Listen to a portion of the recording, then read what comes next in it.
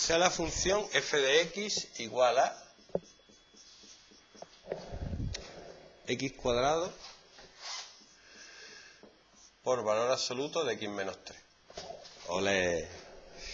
Dice, estudia la continuidad y derivabilidad, crecimiento y decrecimiento, y yo ya que estoy la dibujo. Entonces, para convertir una función que tiene valor absoluto en una función normal, hay que trocearla. ¿Por dónde? Por donde diga lo que dentro del valor absoluto. x menos 3 igual a 0, x igual a 3. Eso quiere decir que esta función, o la parte de x menos 3, ahora, ahora, voy a ver, cuando es mayor que 3, esto es positivo, por tanto se queda igual. Sería x menos 3. Y cuando x es menor que 3, me queda, por ejemplo, si fuera 2, 2 menos 3 menos 1, hay que cambiarle el signo. Sería menos x más 3. Entonces esta función es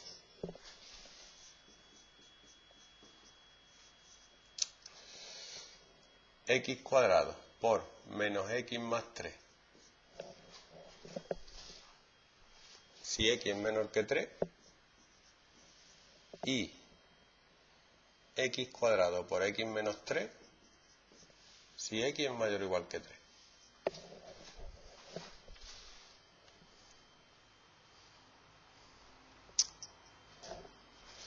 Y con eso empiezo. No voy a escribir toda la continuidad y derivabilidad, pero ya os digo que es continuo, pero no es derivable. No lo voy a escribir entero, lo voy a hacer... Vamos a ver. Para que sea continua, si sustituyo el 3 por la izquierda, me da menos 3 más 3, 0, por 3, 0. Si es menos 3, 0, por 3, 0 es continuo, porque da 0 por los dos lados. ¿Vale? Continua ahora derivable no es. ¿Por qué? Porque si yo hago la derivada, me queda. La voy a poner bonita. Esto sería menos x cubo más 3x y x cubo menos 3x. Uy, más 3x cuadrado. Y x cubo menos 3x cuadrado. Mm, la derivada sería menos 3x cuadrado más 6x si x es menor que 3 y 3x cuadrado menos 6x si x es mayor o igual que 3. Sustituyo el 3. Por aquí me da 6 por 3, 18, menos 27, menos 9. Sin embargo, aquí me da 3 por 9, 27, menos 18, 9. Menos 9, 9. Distinto signo, distinto valor, no es derivable. Siempre que una función con valor absoluto hay un pico por supuesto, en el pico, a la izquierda y a la derecha, la tangente es distinta. Entonces no es derivable.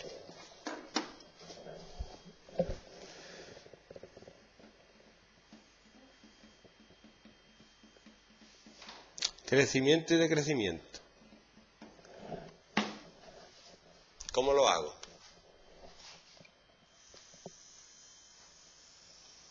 Pues yo hago una raya con un 3 muy grande de separación. Porque a la izquierda la derivada vale menos 3x cuadrado más 6x y a la derecha la derivada vale 3x cuadrado menos 6x.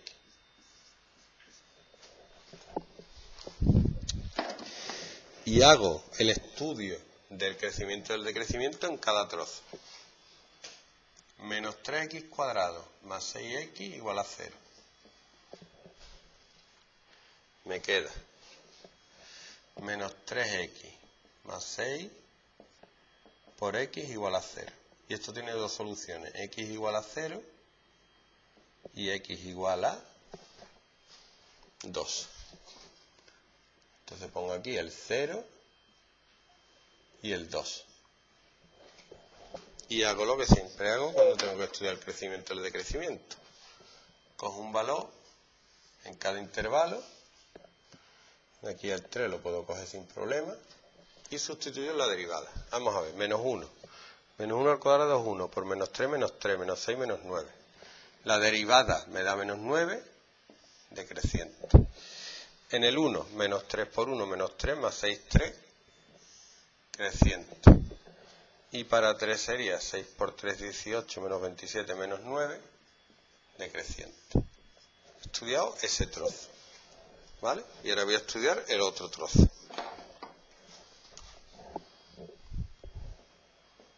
Que, si os fijáis, da exactamente lo mismo. Me da x igual a 0 y x igual a 2. Pero ninguno de estos puntos entra en este intervalo. Entonces lo único que tengo que hacer es sustituir un punto de aquí, el 4, por ejemplo.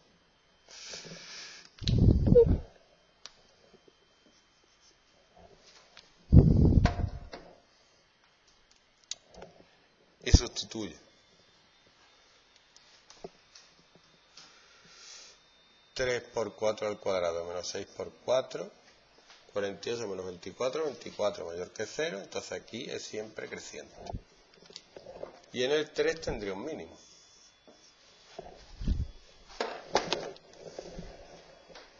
Y me piden punto y así es a donde se alcanza. Pues voy a hacer una lista.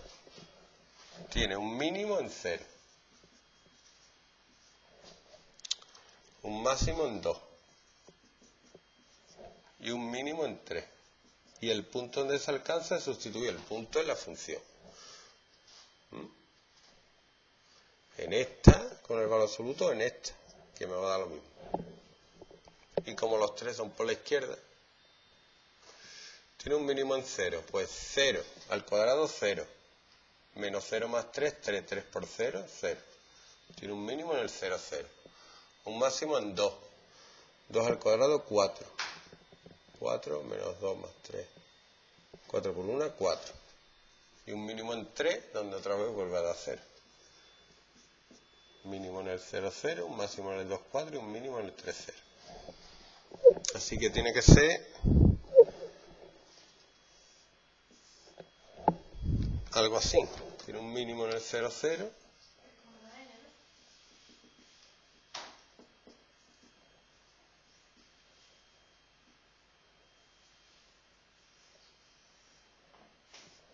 Ser algo así.